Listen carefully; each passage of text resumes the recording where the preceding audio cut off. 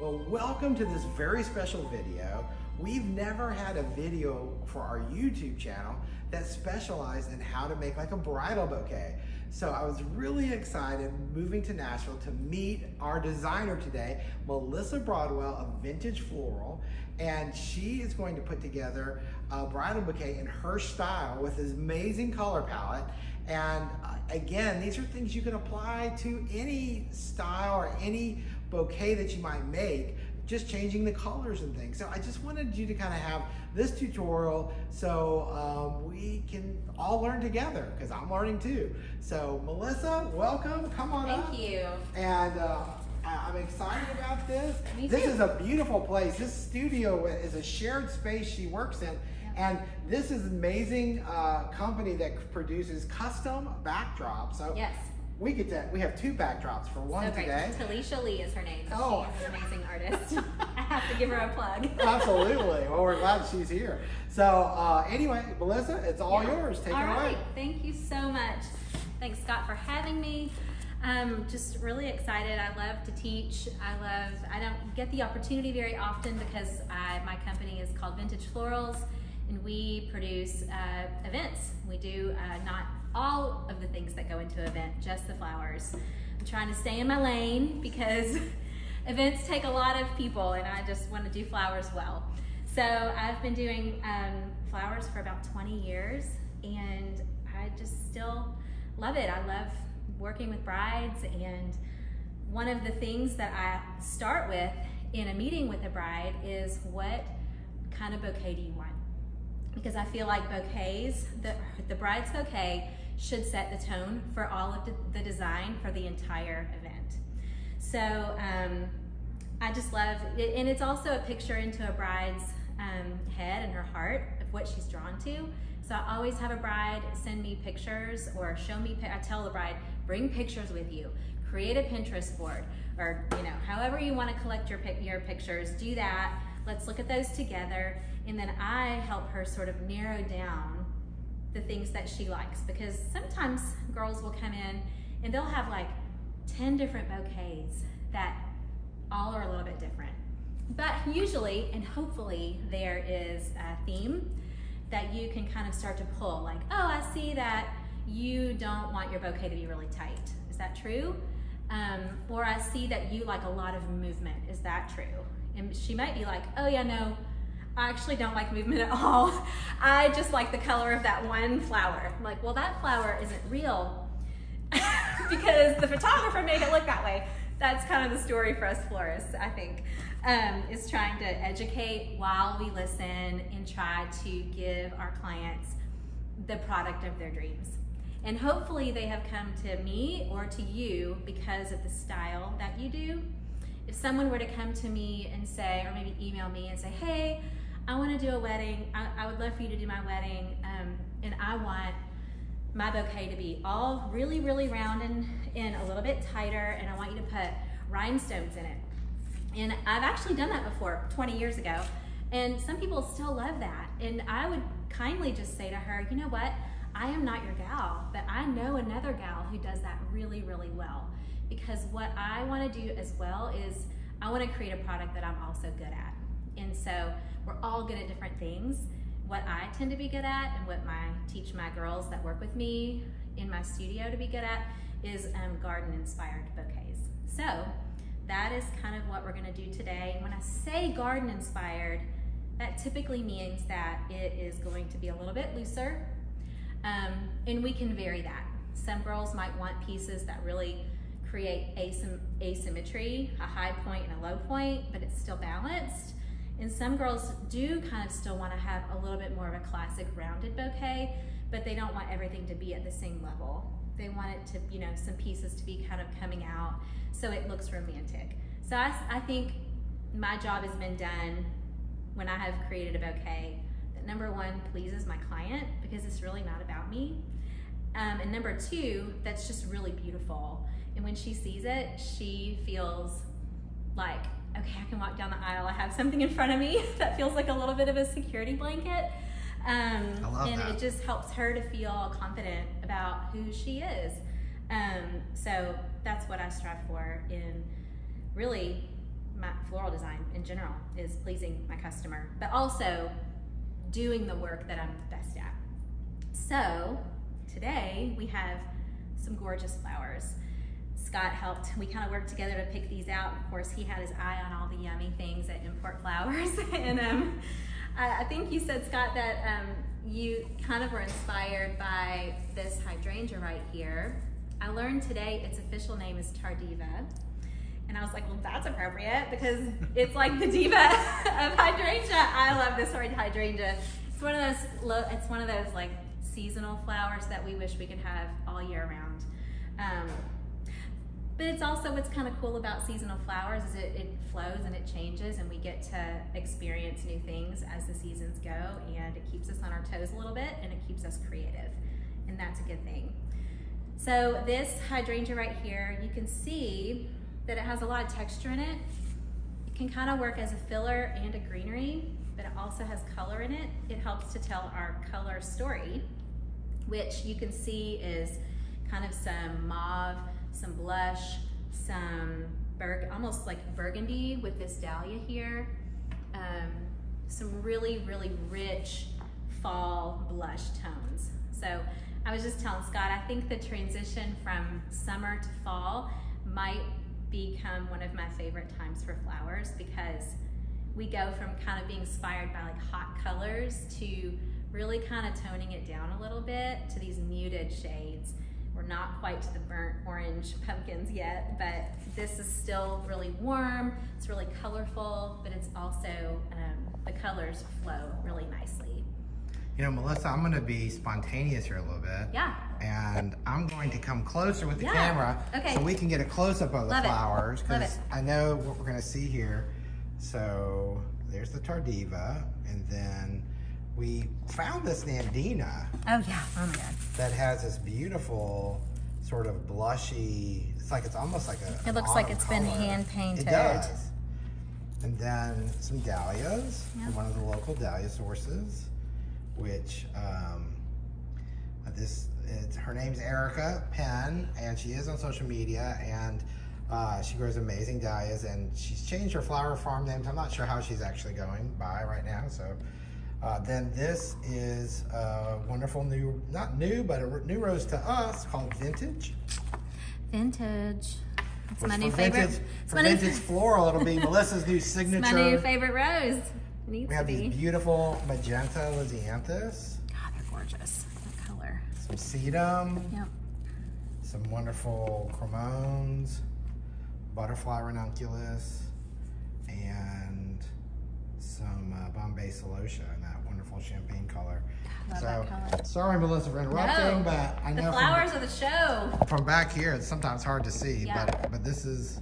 On that note, I wanted to talk a little bit about color palette here. Um, we already already kind of talked about you know the mauves, the vintage kind of toned down, summery, getting into fall colors, but in thinking about color palette, being inspired by the Tardiva hydrangea here, we see a lot of different shades of pink, blush, mauve, some undertones of like maybe purple even going on here. So we are intentional to try to pick up all of those shades.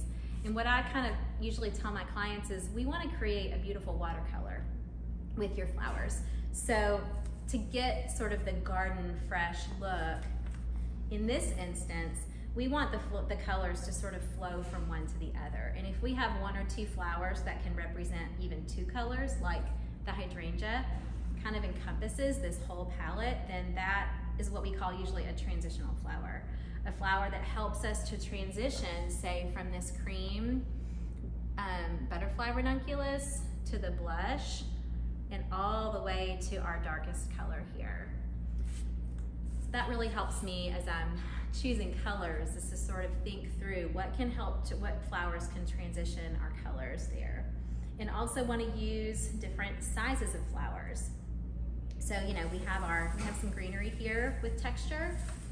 We have our hydrangea, and then we have some larger flowers. We have, this is actually a pretty large rose right here. So this becomes a bit of a focal, a bit of a focal flower. It kind of helps to ground the, the bouquet, the arrangement.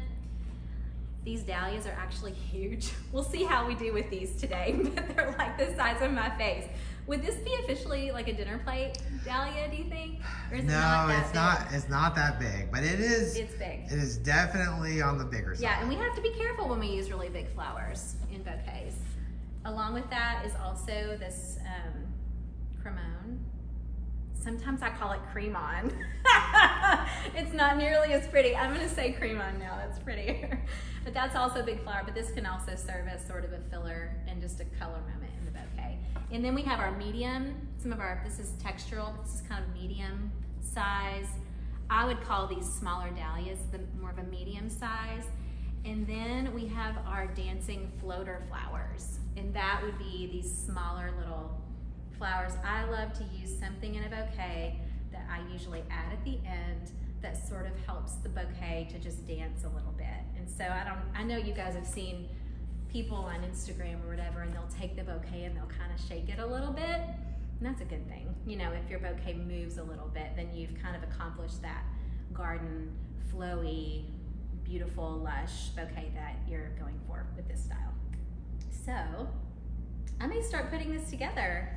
Am I a go for that? You are go. I'm Let's- to talk about, let me talk about tape and things like that. I'm gonna be using, because technical things are honestly maybe 50% of what we do is technical and it is, you know, our mechanics that we use. So, Well, and the one thing too is a lot of times it's great to prep that Yes. before you start, That's right. because your hands aren't full of flowers. Oh man, so true. So I've, I've done that a little bit today already. I wanted to show you. I, I have tried a lot of different methods of bouquet making. What I have landed on is a little bit of a combination of things. I do like to tape as I go, but I don't tape every stem down. That's just personally what feels good to me. And I do use this, the Oasis um, floral tape that's um, a little bit more like duct tape, like it's thick and really strong. Um, I usually use the, the thinner one, like the one that's half this size. I just don't have it today. So I go ahead and I cut off five to six pieces of tape and I just have them right, you know, taped to the to my table right here, all ready to go. I also keep some wire nearby because I don't know that I'll have this problem today, but um, sometimes a flower needs a little help. Sometimes ranunculus, you know, the heads are so heavy, especially when they're not really in season. Those heads get really heavy and they like to droop. And so um, with ranunculus specifically, they have a hollow stem. And if you cut the stem the same length as your wire, a little bit shorter, you're able to run this, this wire all the way up the stem until it hits the bloom. So pretend like this is your ranunculus. You run the wire literally all the way up that hollow stem. You can do it with dahlias too. That's not true. This isn't so hollow when it gets to the skinny part. With dahlias, I will typically wire right into the head and then I'll tape I'll tape that wire down. I don't tape all the way down because I don't want the wire to show at the bottom of the bouquet. But that can kind of help those flowers to stay. what um, gauge wire is that? Do you know off the top of your Uh, head? I don't know off the top of my head. It's not a very thick. It's Yeah. kind of a medium. It's not the thinnest. It's not the thickest. Somewhere in the middle. and it's easy for you to work with. So that's that's the other important thing is Yes. it needs to be something you can work with. Yes, Yeah. yes. Yeah, I, this is probably the, the size that I use for most everything when we're wiring boutonnieres and things like that. So what I like to do is I like to lay all of my flowers out. And if anything needs to be wired, I'll go ahead and wire the flower before I get started. Um, specifically with Lisianthus, I always go in I'm sorry if you love the little bud at the top, but we typically don't use the, the bud at the top unless, and sometimes I'll save it and use it as a little texture for boutonnieres or corsages. But for bow, bouquet work, a lot of times this bud doesn't match the color palette. Sometimes it's even like lime green. And so we usually just go in and just snip that right out, leaving me just, just the flowers to work with. This lower one isn't going to show, so I may, I usually will go ahead and take that lower one off. I always save these pieces. We usually keep a little jar nearby that we keep all of our small pieces in because these work really well in centerpieces or in a boutonniere or a corsage. So save all your little bits. So I'm gonna do that now. I'm gonna go ahead and clip those out. And, oh, the other thing is Lisianthus. This is one stem with three pieces.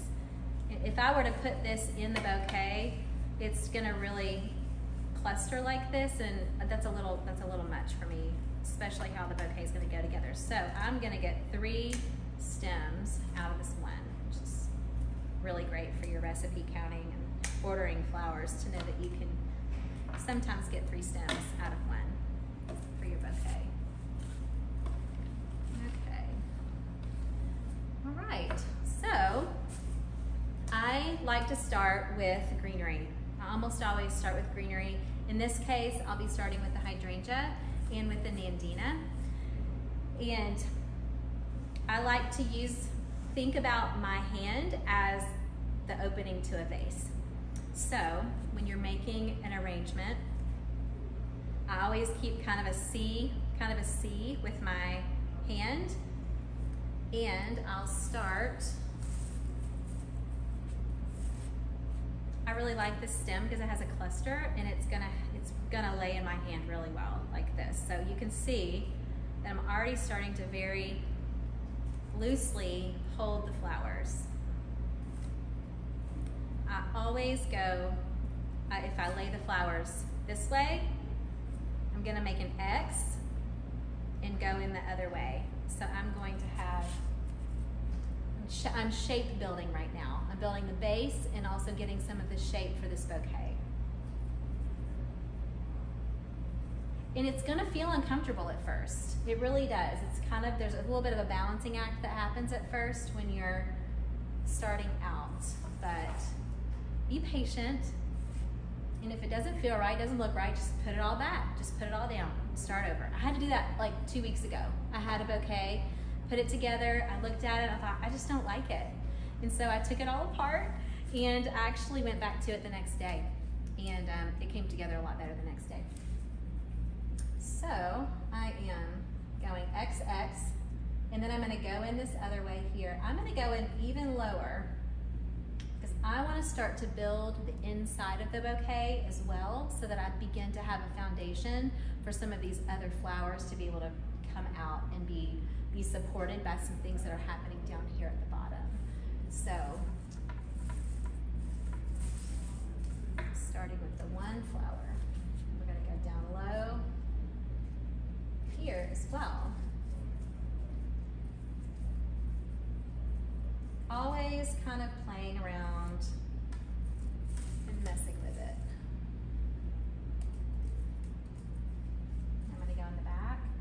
When I build a bouquet, I'm always, almost always, the bouquet is facing me. And I typically do build a bouquet to be, to have a front because the bride is pretty much gonna need a little space in the back of it to hold it up against her body. Now I do make the sides and the back pretty because you want her to see pretty things when she looks down. You don't wanna have just a flat nothing back to the bouquet. But um, I do do like to have a, a front to the bouquet, and I'll talk about how I distinguish that a little bit later. So we're building the hydrangea. I'm not gonna use all of them. I'm gonna leave a couple for the end. I love this stem because it has a little bit of a curve to it and it's gonna help to, I'm gonna actually use it on this side of the bouquet to give me a little bit of shape this way.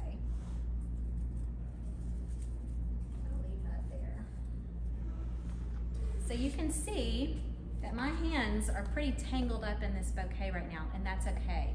I'm also not gripping it. If I were to, if I'm gonna show, I'm just gonna grip the bouquet. And you'll see that this bouquet tightened up a lot. Then I'm gonna relax my hand like that, and it loosens up a lot. So, so I heard someone say one time that the more stressed, the more stressed you are when you're building a bouquet, you could like see it in the bouquet. like like, oh, that's that's a stressed out bouquet because she was stressed and nervous when she made it. I'm always nervous before I make a bouquet. It's been 20 years and I still have to gear up for it because it's like the most important piece to me of the wedding because it's the thing the bride's gonna carry. A lot of pictures are gonna be taken out of it. So, you know, I have to be strategic about the about the time of day and when I put the bouquet together. I try not to put it together at the end of the day because I'm tired and I'm done creating. So for me, I usually need to put it together toward, uh, towards the beginning of the day when my creativity is fresh and I have energy for it. So,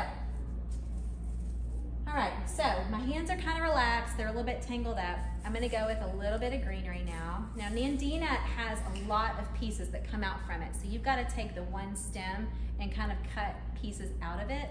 So we've already done that a little bit.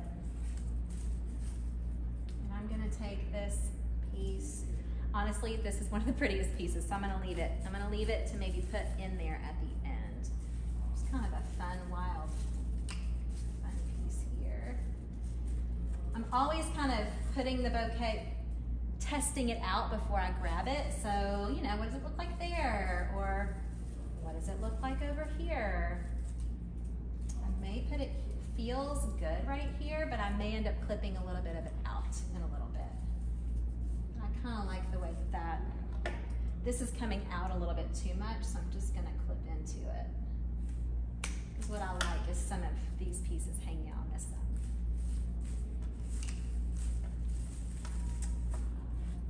little bit more of that Nandina, kind of, and what I'm doing is I'm going around the back and I'm grabbing it with this finger, just like that. I'm holding it there.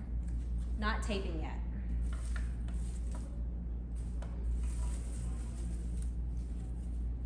This piece has a natural bend to the right, so I'm gonna grab it. I'm gonna let it follow the line of this piece that's coming over this way. And I'm gonna tuck it right in there and grab it. As the stems start to tangle, my hand can let go a little bit and you like kind of feel it happening. It's almost like if you have a vase and you're you're going in X and then opposite side X, it starts to build a grid within your vase. And I know you've seen it happen when you've made just table arrangements or a vase at home in a glass in a glass or a mason jar. There's that grid that happens. Well, that's what I'm trying to achieve with my hand right now. Is that grid, that base on the inside.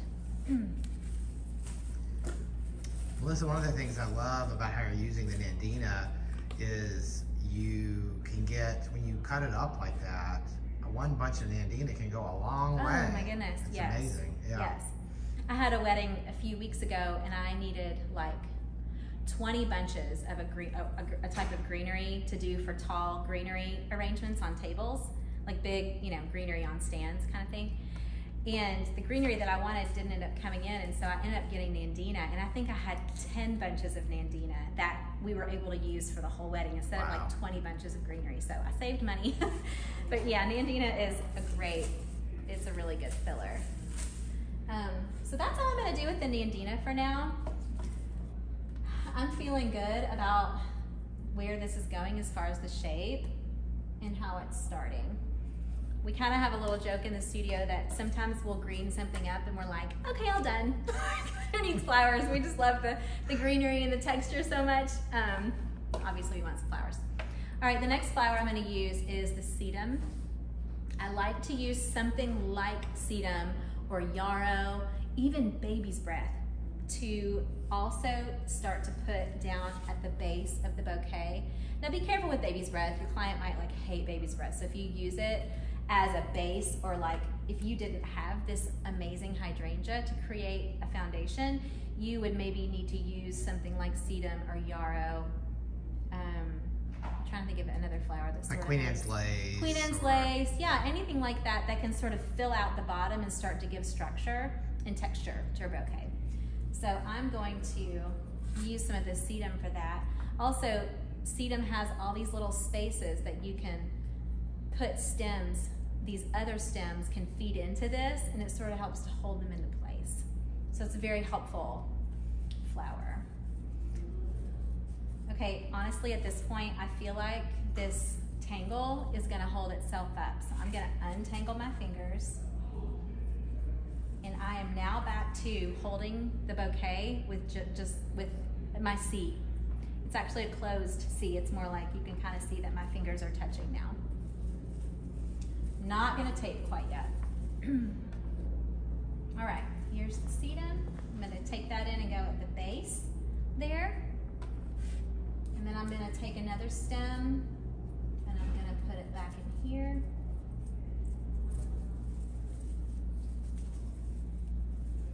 Sort of continue with that. Rounding out of the bouquet. And I'm gonna take another piece and I'm gonna go, I'm gonna go back here with it. And that formed a nice little triad. One, two, three of those. See that? Just kind of gave more texture down the base at the bottom there. Melissa, let me get a close up of it so we can kind of see Yeah, sure thing. where we're at with things. You can see the grid you've put together. Yep. You can And, see the uh, tangle, the tangled mess of flowers. Yeah. It's pretty all right. on top. Sometimes stems move too, and you have to just keep adjusting them. this one's going to do that. Okay.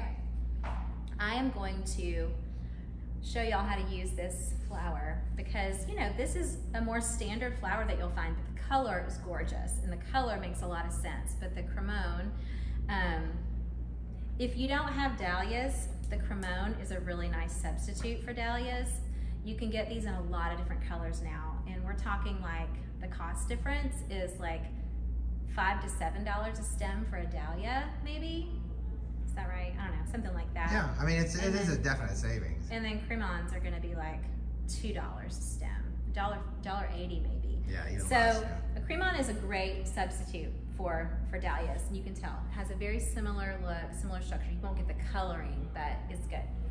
So I'm not going to make the cremon my, my focal flower because I really want to work with the dahlias a little bit, but for that color, it's so pretty to tuck that one down in there, just for the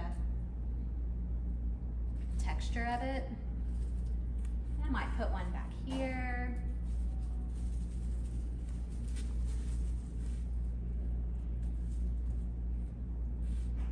And I might, I might just use those two for now, actually. So I'm just gonna do those two and see how it already just started to brighten up that bouquet a little bit by pulling in some of those lighter tones here and here.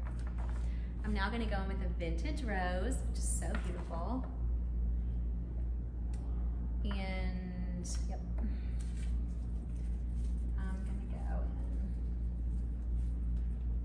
One thing I want you to notice while I'm doing this is that I'm gonna make an effort to never put one flower um, at the same level as another flower. So this helps to create movement within your bouquet. Textures help with that, but also placement of your flowers. So you can see if that flower is on the same level as say the sedum, it will start to round out this bouquet in a way that will compete a little bit with the movement that we're trying to achieve. So I'm gonna pop that out just a little bit more like that.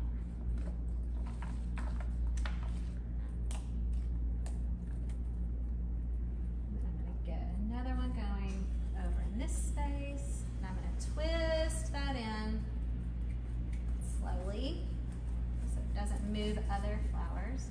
So Melissa, I want to ask a quick question. Yep. When work, you know, so many of the roses that that wedding professionals work with um, are different shapes and sizes. These Yes. really are big roses. They are, it's a big one. So is that is that a good thing, a bad thing, or just something you just you design a little differently because of that, or Yeah, I think you just have to be really thoughtful about how to use big roses. Um, I'm not going to use very many stems.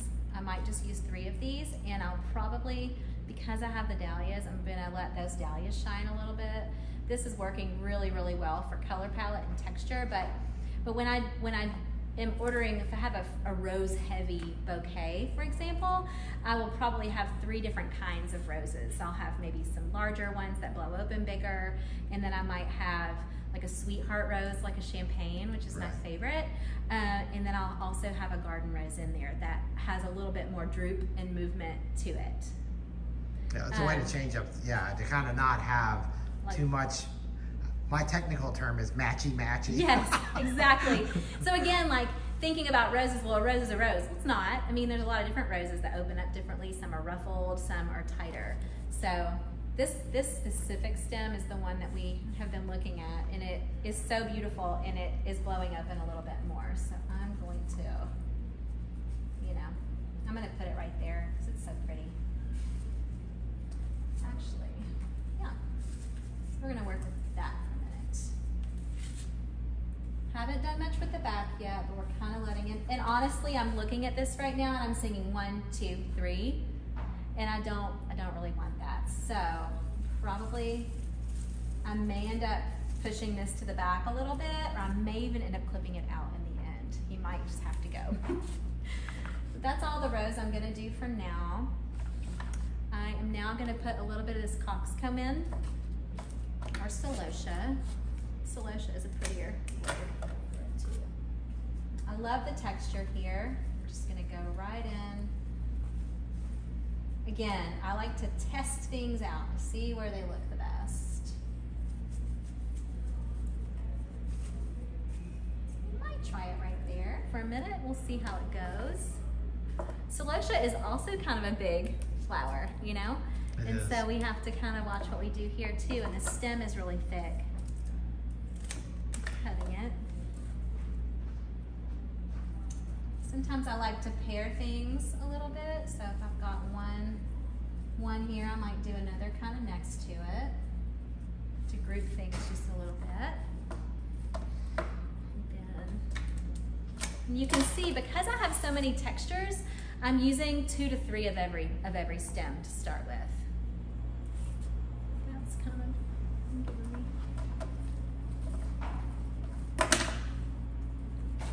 And then because I have two over here, I'm gonna even that out a little bit and I'm gonna put one over here. Oh, that's awesome. At this point, this is feeling a little cumbersome in my hand, so I'm gonna go in and I'm not gonna cut them short yet, but I am going to take some weight off cut those stems so that I have more control. Right now it feels like the stems have all the control because they're so heavy. I'm gonna be the one in control. Okay, so that's good. Haven't done anything in the back yet, we will. All right, I'm going, let's see if, what's gonna happen with these big guys. Curious, they're so pretty. Do you wanna take those leaves off? Here, you want me to- Hmm? No, I was gonna say if that, if I can. Oh, I think I got it. I mean, sometimes I, you know, we use our teeth, our armpits, a little everything. Okay, this is a big flower. So, I mean, that's a little much, right? It is. It's too much. But we can put it down here. We're just gonna try that. I'm gonna try that. And then this one, I actually need to take off that really big stem that's next to the flower. So I'm gonna just trim that off carefully so that I just have this one bloom to work with. I'm gonna have that come back in here. I'm not gonna front face. I like for the flowers to do natural things. So dahlias might look this way, might look that way. In this case, I'm gonna have it go a little bit like this. Let me come a little closer so we can see that again. the dahlia, I don't necessarily want them to both be front facing. The, a more natural way would be for that dahlia to turn one way or the other. So I'm gonna have it turn that way just a little bit. And I'm actually gonna pull that rose down a little bit. This is color palette is crazy. It's so great. Yes, it's so great. Okay.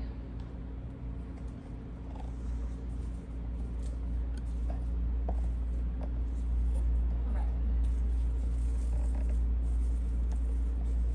I'm feeling like I need to fill in this back area a little bit, so I'm gonna go ahead and put one of these big roses back in here for a little stability.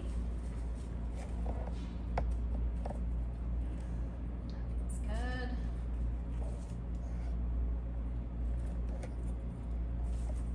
This hydrangea is wanting to steal my dahlia's show. We might have to move it in just a minute. We're gonna go with this. Okay. This is feeling like I can't hold it on my own anymore, so this is the point where I'm gonna start to tape a little bit.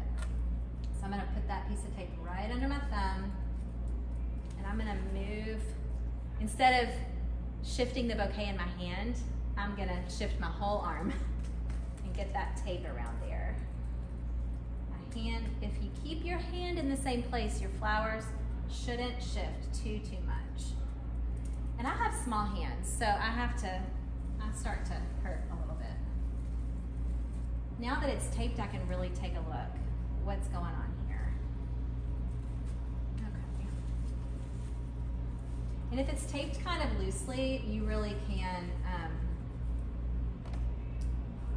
see, you can still move things around. This hydrangea, I'm gonna move it because it's, it's, you can see that it's sort of covering up some of my shape. So I'm gonna go in and I'm gonna cut it out really deep. Yep. And that just cleared away some space in there. I'm still gonna use it, and I may actually take a longer stem. So now I can put that here. Okay. I'm gonna add in a couple of these little babies. I'm seeing height here, but not on this side. So I'm gonna go in there. And I'm gonna let one pop out right here. And you'll see I didn't go here, which would be fine if you need to have it more contained, but I want the bouquet to flow just a little bit more. So we're gonna let that come out a little bit further. I almost always have the smaller flowers float out a little bit more. And I'm gonna come around back here and have one kind of popping out right there. Okay, now I want those dahlias to stay in place, so I'm gonna tape again. Again, going under my thumb, wrapping around. And I just toss it.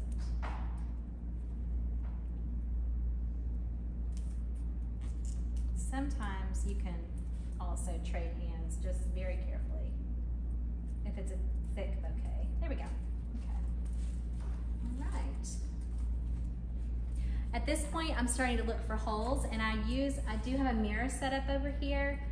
Um, I'm gonna, I like to hold it in front of me, and kind of turn towards a mirror and it's just a different perspective. It's further away. It gives me an idea of what the photographer is going to capture when the photographer is shooting too. And so what I'm seeing is that this side looks really full and this side isn't quite as full. And so I'm gonna add a little something in this area right here. I haven't done any of the butterfly ranunculus yet, and these are dancing, dancing flowers, so I'm gonna go ahead and maybe I can achieve that with a butterfly ranunculus. Get one over there. So I, I have to say this because I'm about ready to just burst here. um, when when we started pulling these colors together with this Tardiva hydrangea, Yes. um, of course, you know this is this is the thing that I try to tell people sometimes. You know, some so many times we are driven by an image or whatever, but for myself, when pulling flowers, it's it's often in and pulling flowers for ourselves, Mhm. not with someone else's color palette in mind. Yeah. But when you see like that Tardiva, and then and then I mean that those colors to me are phenomenal. I mean they just I'm Fantastic. I'm so happy with the way everything is playing Yeah, together. me too. And I'm like, and, and sometimes that's it. It's Yeah. just you pick a color, Yep. you pick a flower, One flower. and then you just see what goes. yes. And let nature lead lead lead the way. Absolutely, absolutely. We, um, my husband and I have a coffee shop, and I do flowers for the coffee shop every week, and that's what I do when I walk into import flowers. I usually start with one flower because I have, I have a budget, but I but I want to change it up every week, and so I start with one flower, and one flower usually kind of leads the way, or even a, a bunch of greenery. That's amazing Mhm. too, like the Nandina Right. can inspire an entire color palette. So I love this color palette too. It's just so pretty. Okay, so I want to fill out this area and I also want to try some of these butterfly ranunculus. I'm cutting a couple of blooms off because I don't need that much of a cluster. So what's pretty about this is the center is the same kind of blushy peach mauve color that's happening in this rose, some of it in the dahlia, in the cremons there. So, and uh, my hope is that this is going to lighten up lighten up the palette just a little bit. Although I like how saturated it is too. So, okay, so that, we're gonna see how that works a little bit. I am working with these kind of in one area right now. Kind of let them play around there.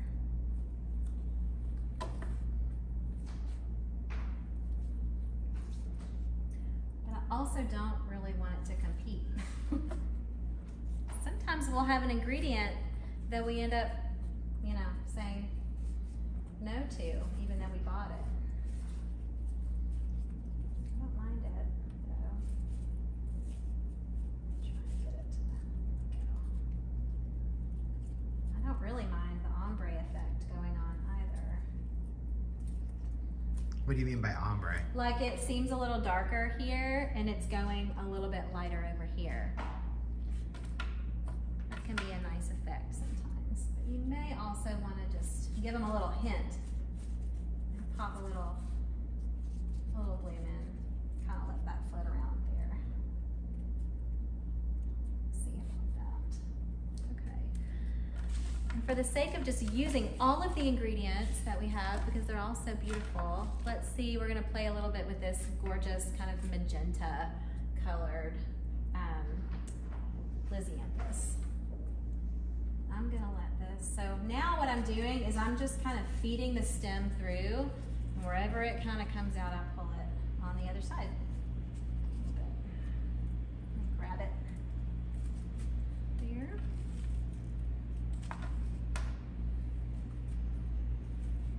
I want to come on this side so you can see this side of it okay.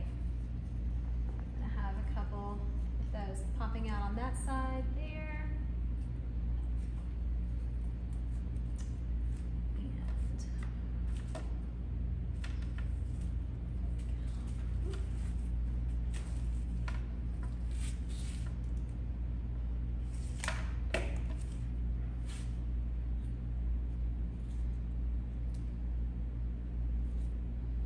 You can kind of see that the, the butterfly ranunculus are doing a similar thing that the Lisianthus are doing in the way that they kind of float out of the bouquet.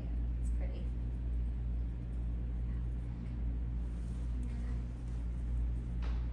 All right, I'm going to tape this and take another look. Under the thumb.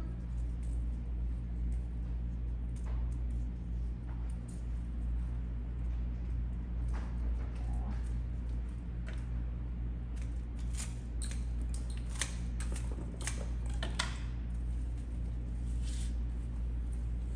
Okay. I think we're almost there. I also like to look at the sides of the bouquet. So this side looks a little bit empty to me, so I'm gonna go and plug in this rose. So that if she has it up against her body like this, there's a little space actually, which is nice. I like for there to be a little space that's not hitting her dress. And you've got beautiful things happening here. Oh, sad. And then also beautiful things happening here, but it's a little different. And I love that.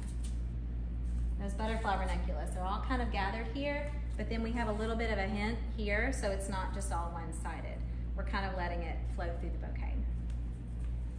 Now I will, I, while I do like this space, I also don't want the bride to go, well, that's kind of a weird empty space. So I will put something small there, even if it's maybe like a small dahlia, like this. Looks really sweet. And you could even, if you have another small piece of filler, or in this case, this hydrangea, you can put it kind of underneath it to support a little bit. And then just tape that down.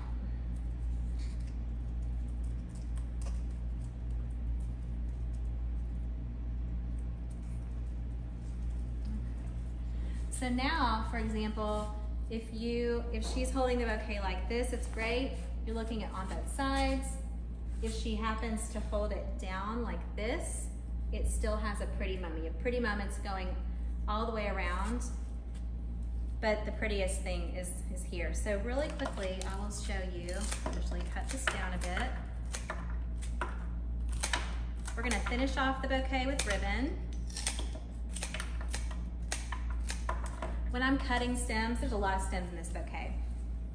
I like to go pretty short because I don't want those stems to hit her dress and kind of make a mess on her on the dress. And then also if the stems are too long, she's not able to hold her bouquet out like this at all without them just hitting her. Um, so I, I like to cut stems a little bit shorter and I go straight across.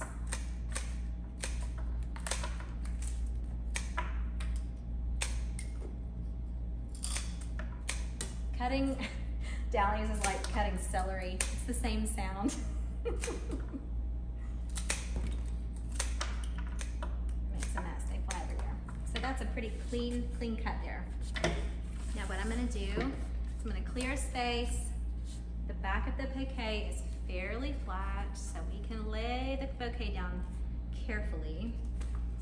And I have some really pretty um, Tono & Co.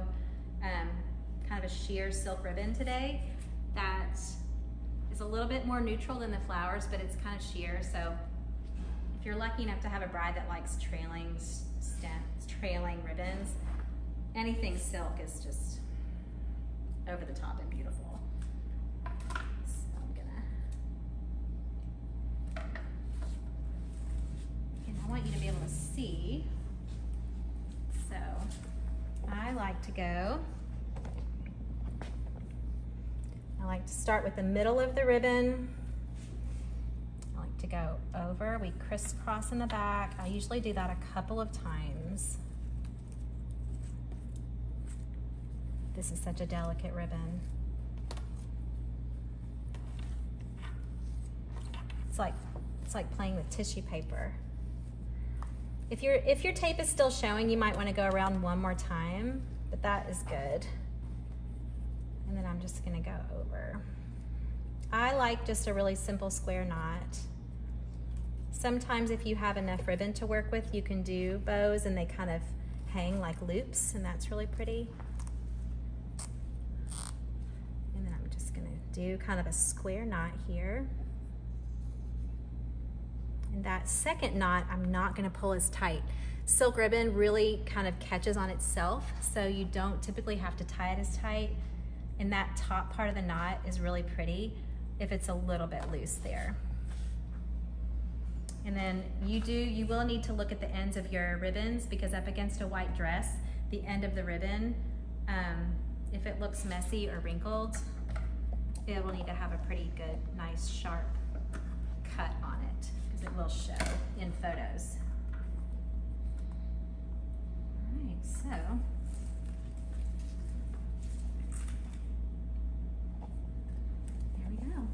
Voila. Voila. Let me get a close up. Whoops.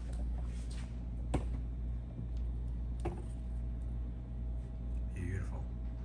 How about that backdrop? I know. With our color palette. If people only knew. It's you know, we planned everything. I know it. So. Well, thank you, Melissa, so oh, much. Man, it was such a pleasure. Thanks for having me. It's been fun.